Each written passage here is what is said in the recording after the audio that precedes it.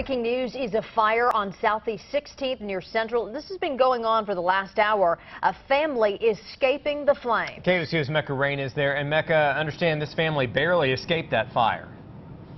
Yeah, that's exactly right. I just had a chance to talk to the chief. He says the family in this home right there, take a look behind me, that white home, was having dinner. They didn't even realize that their house was on fire. The chief says neighbors came and knocked on the door, told the family to get out. This happened just before 9 o'clock.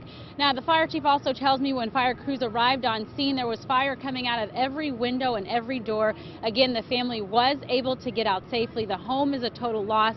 They did evacuate the homes there on either side. Those people did get out, of, uh, get out safely as well. There is a little damage to the side, but again, good news tonight. That family, two adults and four children, are okay. Live on the southeast side tonight, Mecca Rain, KOCO, 5 News. Thank